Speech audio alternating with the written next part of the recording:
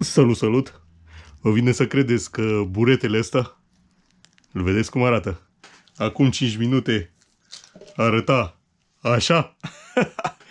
De fapt sunt bureții pe care i-am dat jos ieri, din furcă v-am arătat. I-am scos negri din uh, Foxfloat-ul acela care nu mai avea deloc uh, ulei și o să vă arăt cum puteți să-i recuperați. Bineînțeles, dacă nu sunt rupți, dacă sunt doar murdari, există o variantă prin care puteți să-i recuperați și nu este nevoie să mai cumpărați un kit nou. Dar ideea ei trebuie să fie întregi și tot ce aveți nevoie e de alcool izopropilic sau izopropanol. Concentrație 99%, izopropanol 99,9%.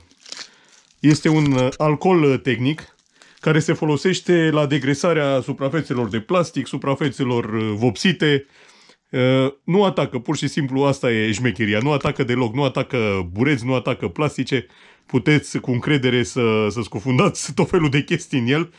Și uh, o să vedeți cum începe. Uitați, vedeți partea aceea neagră.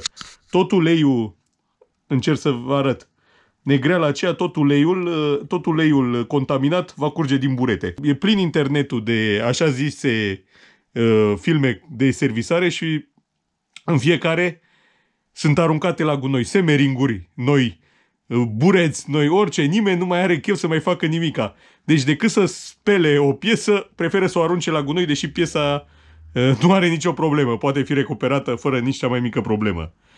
Deci sper să vă fie de ajutor, mai ales că un kit din acesta, cel puțin la noi, nu-i deloc ieftin. Uh, eu am plătit pe unul cam 1.150.000 de lei, deci nu e, nu e chiar gratuit. Cam asta e pe ziua de azi. Sper să vă ajute pontul ăsta și să vedeți că nu orice piesă murdară trebuie aruncată. Over and out!